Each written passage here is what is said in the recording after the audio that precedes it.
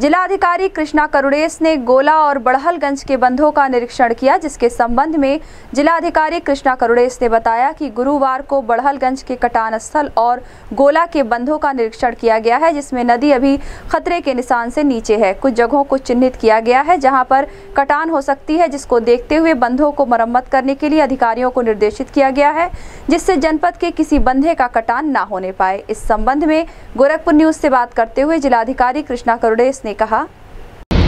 कल उधर हम लोग गोला और की तरफ़ गए थे। लगभग अभी तो कल शाम में नदी जो है, वो खतरे के निशान से नीचे बट एहतियात बरतने की आवश्यकता है। कुछ जगह हम लोगों ने चिन्हित किया है, जहाँ कटान होने की संभावना है। माननीय विधायक जी भी वहाँ आए उन्होंने भी कुछ आइडेंटिफाई करके बाढ़ कंट्रोल किए तो भी का रिक्वायरमेंट है, जैसे भी हम लोग बचाने की कोशिश करें। और आगे की भी कार्य योजना इसी अनुसार बनाएँगे